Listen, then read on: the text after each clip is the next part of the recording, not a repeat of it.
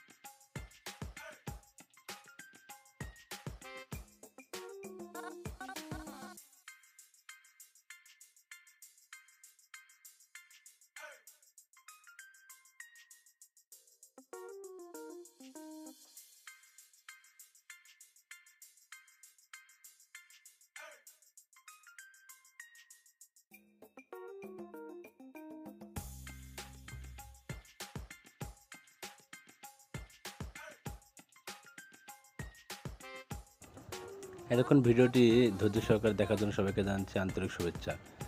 আমাদের নতুন নতুন আরও এগ্রিকালচার বিষয়ক বা কৃষি বিষয়ক নতুন নতুন ভিডিও পেতে আমাদের সাথেই থাকুন এবং চ্যানেলটি অবশ্যই সাবস্ক্রাইব করবেন এবং আমাদের পাশে থাকবেন। আমরা মূলত কৃষি সমস্যা সমাধান নিয়ে ভিডিও তৈরি করি এবং ভ্রমণমূলক বা কৃষিমূলক বিভিন্ন বিষয় নিয়ে আলোচনা করি। সবাই ভালো থাকবেন, সুস্থ থাকবেন।